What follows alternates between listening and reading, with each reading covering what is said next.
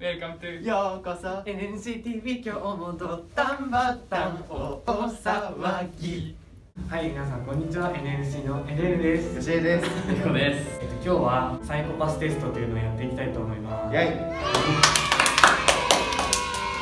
簡単ですね。サイコパスかどうかを判断するみたいテストしなくてもエレンのは最後な。ということでじゃあ早速やっていきたいと思います。Here we go.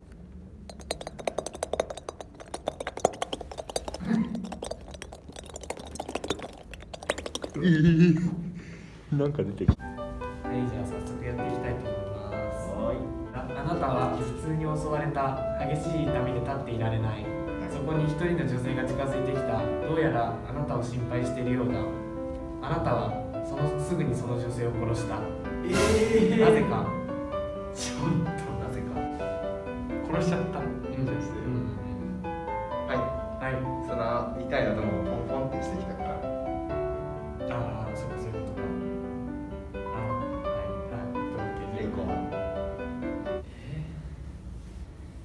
性があんまりタイプじゃなかったから。はい。えっとじゃあ正解というかまあ二人の答えはまあ一般人。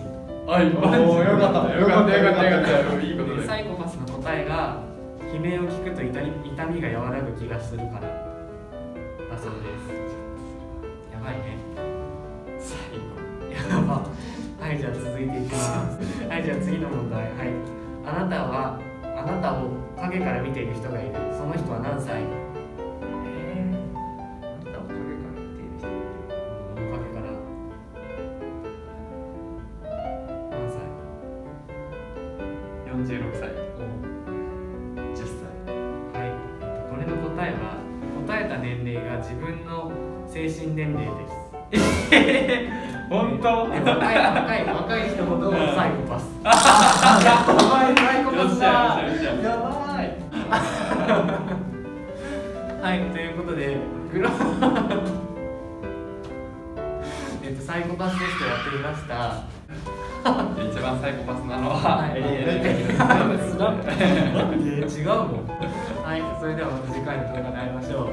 さよなら。